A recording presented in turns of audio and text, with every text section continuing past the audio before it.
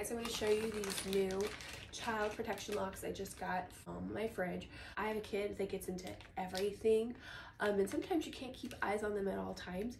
Um, we also have a deep freezer so it's really awesome that I'm going to be able to put this on the deep freezer so that I know for my peace of mind that there's no way they can get into it. So it comes in a pack of two.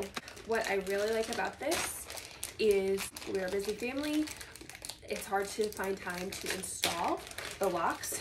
You don't need to install anything. It comes with the 3M strong adhesion on either side. So one side will go on the door, one side will go on the wall.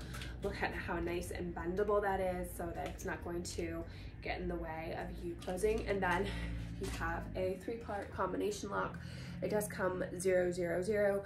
Um, and it is um, a good idea to put this on there and before you open it, leave, uh, leave it on for a, a, a, couple days if you can before applying force to it.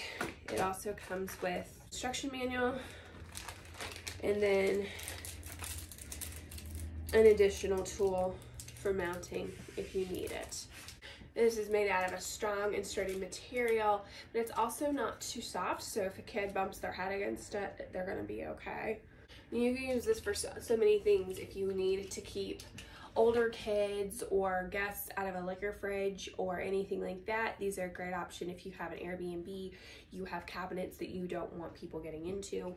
To reset the password, all you're gonna do, there's a button here, you know, push that down, set and, and reset what password you want, and then undo the button.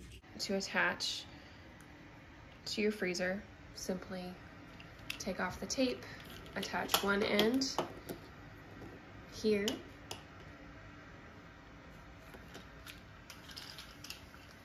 and the other end here. Once you have decided on a place for your door lock, it is so simple to open. Once it is attached, you press the button on the top and it will release the cable so that you are able to open.